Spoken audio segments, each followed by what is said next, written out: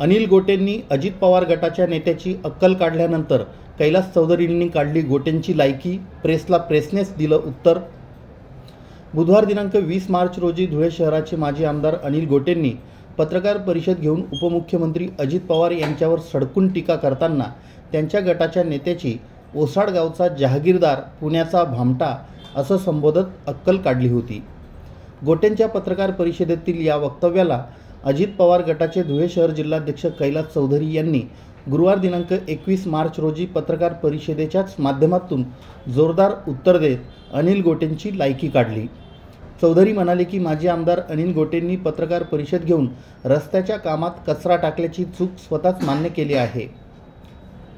मात्र या प्रकारात माजी आमदार गोटेंनी ठेकेदारावर आग पाखड करण्याऐवजी ज्यांनी चूक लक्षात आणून दिली त्यांच्यावरच खालच्या पातळीवर आरोप करून आपली लायकी दाखवून दिल्याची सनसनीत टीका राष्ट्रवादी काँग्रेसचे शहर जिल्हाध्यक्ष कैलास चौधरी यांनी केली आहे.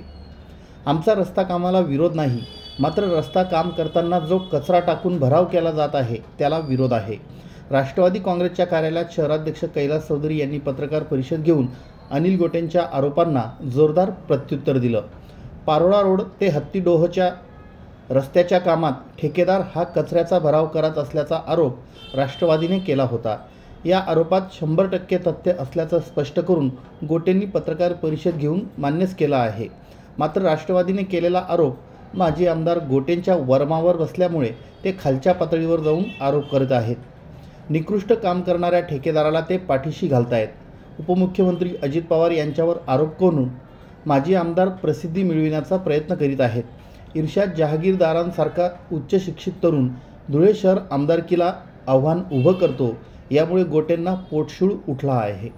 उपमुख्यमंत्री अजित पवार आणि प्रदेश सरचिटणीस इर्शाद जहागीरदार यांच्यावर टीका करणाऱ्या माजी आमदार गोटेंचा राष्ट्रवादी निषेध करीत असून गोटेंनी आमच्या नेत्यावर टीका करण्याऐवजी रस्ता कामासोबत स्वतःच्या डोक्यातील कचरा डेपोतील कचरा टाकू नये असा सल्लाही राष्ट्रवादीचे शहर जिल्हाध्यक्ष कैलास चौधरी यांनी दिला आहे. या पत्रकार परिषदेला रवींद्र आघाव उर्फ गड्ड्या पैलवान रईस काजी नरेंद्र अहिरे ज्ञानेश्वर माळी सुरेश अहिरे राहुल पोळ फरदाना शाह आदी उपस्थित होते. राष्ट्रवादीवर काल जो आरोप केला गेला की राष्ट्रवादी विकास कामांमध्ये खोडा घालते तो विषय खोडण्यासाठी आम्ही आजची प्रेस घेतली होती.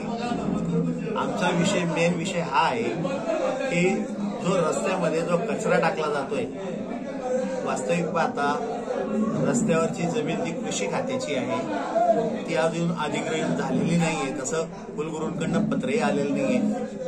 आपला तो विषयच नाहीये पण विषय हा आहे की जी कृषी खात्याची जी जमीन आहे त्याचा जो ब्लॅक कॉटन असतो म्हणजे जी काळी पोत असते काळी माती जो लेअर असतो तो नवीन रस्ता करताना तो काढायचा असतो. तसा प्रकार तिथे काही दिसून आला नाही. ती जमीन पूर्ण शेतकी शाळेची प्लेन जमीन आहे. आणि त्या प्लेन जमीनवर बाजूने सारी करून वरती कचऱ्याचा जो भर आहे जो कचऱ्याचा भराव त्याच्यावर जो टाकण्यात येत आहे त्याला राष्ट्रवादी काँग्रेस पार्टीचा विरोध आहे.